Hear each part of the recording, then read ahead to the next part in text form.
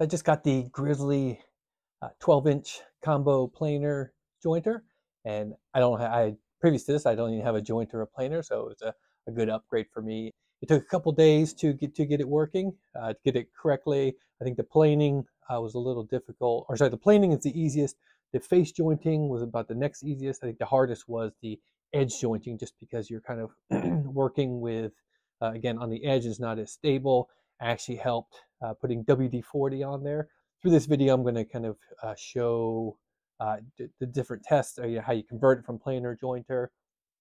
And then here's a video of what it looked like when I first started. So you can see here, this was one of my first attempts and there's a lot of snipe lines and a lot of this is why I was face jointing. And so I was having a lot of trouble, uh, but I worked it out. You see, the results weren't that great. And it was really uh, kind of tough when I, when I first saw it. And it's like, I, don't know if I made the right decision getting this. Uh, but you see toward the end, I, I, was really able to get everything square. And here's uh, just presenting kind of the, the, the specs of it, what it looks like, and what it actually seems like to work with it. And so here is the what it looks like. You can see it's pretty big, 12 inches wide. Uh, I got to show the dimensions here a little bit, uh, but it sits uh, meant for a bench top. Uh, so here it is, measuring the the length of the table. It's a 42 and a half or 108 centimeters. I have them both here. And you can see the width is 12 inches, like I mentioned, so a little like almost 31 centimeters. And this is how it sits off the height, just sitting on the ground, so 20 and a half or so, like that. Uh, but more importantly, the fence is about five inches tall, or it is five inches, and it's about 25 and a half inches. It attaches only in the middle, uh, so that you get a little bit of flex on the edges, uh, which is one thing I noticed. So here's me just trying it out. When the first time I had these, uh, these two poplar boards that I had glued together. So this the first attempt was pretty easy, or I, I, didn't, I didn't, have as much trouble as I thought, uh, just because there was two together. So I had a really uh, support or good support. Uh, whereas the, the trouble I started seeing uh, when I first attempted this or first learning it, uh, here I am just getting the other side, uh, was when I had one piece and you have that really narrow, you know, three quarters of an inch or so. And I think that that was that was difficult. Uh, here I am just making a second pass had. You can see it made it, made it pretty smooth.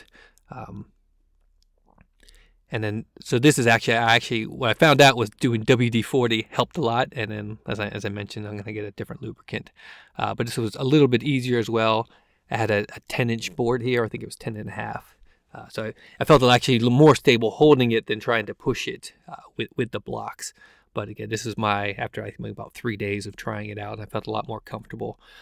So the first pass I made there, there's a, there's a sapwood on the, on the top uh, that I was that that's not hitting just because it's higher than the rest of the boards. I think I made three or four passes on this just to to try it out, and it was a lot more successful. So I think on this one I may have got a little bit. Nope, I think I'm making just under 132nd passes on these, and you actually adjust it on the end of the table back where I'm standing, so you can see it's it's, it's ended up a lot better. Very smooth here, not really getting any snipe lines. That, so it really helped having lubrication on there as you push it, so you're not struggling and it came out really square. So again, this was one of my last attempts. So it was I had I had already face jointed, it and here I'm just going to show how to convert it from the jointer to the uh, planer mode. And so you had to take this the dust collection, that, that dust hood off. It sits under, it just gets pinched underneath. And then let me speed it up here a little bit. The uh, the the biggest hassle is taking off the fence. I mean, it's four screws, but it's it, it's kind of annoying to have to do it each time, but get used to it. So, and then just get the guard out of the way, and then you put this hood on top, and there's two little tabs that go in the side, whether it's into jointer or the planer mode. It, pushes in the same way, and you need to engage those in there for it to actually work. And then in this planer mode, there's a screw you have to tie in versus the other way. You don't have to put that in. It just gets kind of pinched in the planer. And again, this is kind of getting used to this, especially with a longer board, is it's kind of a tight area, but once you get it working, like I said, after a couple tries, I was able to get it. You can see it engage there as the speed as as the rollers pull it. One thing I realized or found about removing the snipe was that you know at first, like any planer, it grabs in the rollers and it pulls, and if you kind of hold it steady, it avoids that that tick. Um, so you can see here it did a pretty good job. A lot less uh, snipe lines on here. And this is bird's eye maple, which is normally gets chipped out around those little bird's eyes. So I'm going to try it again here with it with another smaller board. Uh, again, this is one of the later times. I just want to try to see how I can smooth it out, do a regular planing, but also get rid of that sapwood on the edge. And so I'm starting out trying with 130 seconds cuts just to uh, try it out. So actually, I'm sorry, I made two pat two clicks there. That was a sixteenth of an inch. Uh, but I think this this first attempt, it's uh, not going through or not taking as much. One thing I, I, found, I think it's a little difficult to to do the measurements by the little gauge. I found it a lot easier to just put it in there and kind of feel it. You know, put it down a little bit, make sure it doesn't do a, a, a full pass, and then you know feed it through a couple times till you get it just at the right so you can choose whether you want a 32nd or you know, a 16th. A 16th is a little hard, especially if you're using 10, 12 inch pieces like this. You can really hear it churn down. So here I made two clicks on it so you can hear the, the noise.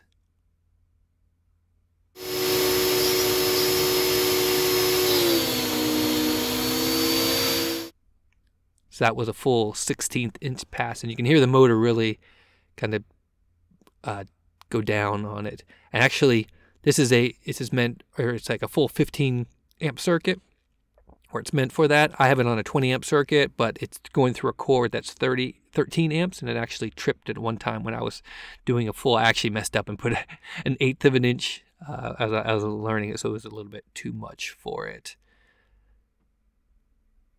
And so you can see here, I have a, it's a little bit tr- trouble every time, or some not sometimes just getting it in there, especially if you got a little uh, warp in the board, is you get it underneath there because it's, it's, a little bit tight to get into the, the, the rollers there. But you see, after a couple passes, made a good look on it.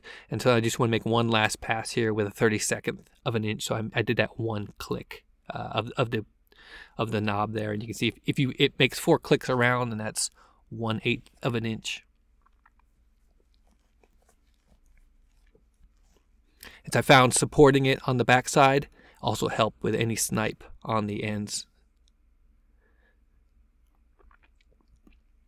Here's a close-up look at it. Again, this bird's eye maple, normally it would, uh, a lot of planers, it would chip out around the eyes. It's kind of hard to see, but it's got a 3D effect. Um, so you can see so here's a, here's a here's another close up. This is just showing you both sides. So this is the jointed side, obviously, because that's what I'm writing on here, just so I could remember as well.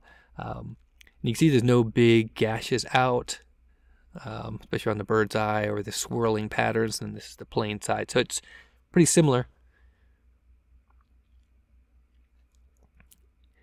and it just kind of giving you showing you how flat it is so i think i mean it was really acceptable for me for what for what this is and having this capability to take raw lumber and see square on the edges so i did the or i did i edge jointed it and then did both face jointed one side and then plane the other side so i have three sides square here i hadn't run it through the table saw yet but you can see just flipping it over, showing you the other side. This is the jointed side, showing you how flat it is. There's a there's a little nicks in the edge, so it might look like it's not flat. Uh, plus, I'm trying to film and uh, hold it at the same time. And then this is a two-inch piece, just kind of showing you. After some practice, I was able to get a good joint, uh, both faces, and then I ran it through the table saw. So that's what you'll see. Just putting it up against my level here, showing you how flat it is I'm trying to hold it in the middle so it's showing off a little bit on the edges, but it's, it was nice and flat. And flip it over. That those are burn marks from the table saw, uh, but this was very plenty sufficient if you wanted to to joint two boards together, two or more. Sorry. And in here, I'm just going to go through and see how square it is. You know, for for what it is, the product, and for what you're getting out of it, it's this is plenty sufficient. Uh, just showing you all four sides where again I jointed plain sides and then ran it through the table saw. And I just have a little tabletop table saw. And one thing is you're gonna have to have the four inch dust collection. I tried running this with its shop vac two and a half. It was just bits were getting all stuck in the the reducer. So you're gonna have to factor that in and I just show you as I, I, converted the other way from planing to jointing. This is if you're going from, again, from planing back to jointing. So you take the sh- uh, dust shroud off, and then it's going to go underneath into the planing. So you really you just have to drop it down enough. It doesn't fit real tight in there. You don't have to screw it in. You just have to put those two clips in there. So you just have to get in just enough where you can you know where, where it'll, it'll slide in there. And then again put those two little tabs into the slots. It's, it's really not that difficult. Uh, so get them in on both sides, click it in, and then once you do that, there's one side and then the other, just kind of wiggle it around. And then once you do that, just put it up tight. You don't have to put it really tight, just enough where it's it's supporting it because it's just taking the action. And then this mistake I always make is, or a couple times, the first couple times is to release this uh, the guard right now, and then realize, oh no, it has to sit up against the fence. So you have to put the fence back on first. Again, this is the the kind of annoying part, but it was um, not as bad after I did it a couple times. And what I noticed is if you leave the bevel, so you don't have to change that. Uh, there's there's there's a separate screw for the, the beveling of that fence, and I left that and didn't move it and didn't touch it, and it actually stayed square enough where I can just put the fence back with these four screws, and it was sufficiently square, so I didn't have to mess with that. But I mean, I would check it every time, but it's not like actually putting the fence on and off should you know mess that up or the, the squareness. So here I got it back in and then I just test it for square. It's going to be the most square right around the attachment point. Uh, they're in the middle. And I just mentioned that the two sides aren't attached, but it was it was good enough. And I was just testing it out here with my kind of cheap micrometer analog uh, just to show that I, you know, planing it, jointing it was fairly parallel. Uh, here is, I think it was like 0.2 or on there, 8.82 or so. Sometimes I mess it up. I don't get the actual edge, but it's, you know, for what it, this is, this is plenty sufficient. So yeah, again, 0.82, so 2 hundredths. And then I tested it out on the snipe. It was 0.81, so you know, somewhere between one hundredth of an inch. And then this is the other side. Again, I haven't ran that side to the table saw, so this was at 0.1, 0.815 or so, like I said. Uh, there's the other snipe. This one's a little bit less. I think I was moving along the edge and not the solid part, but you can see for for what you're getting, this is this is very helpful. And I'm actually actually using this on a project that I'm doing right now where I'm making a tabletop. So I had three boards, these these bird's eye maple that I edge and fit, joined, and I'm gluing them together, and then I face joined, or sorry, it's face planed it. So it's and this will be in an upcoming video. But overall, really happy with the product.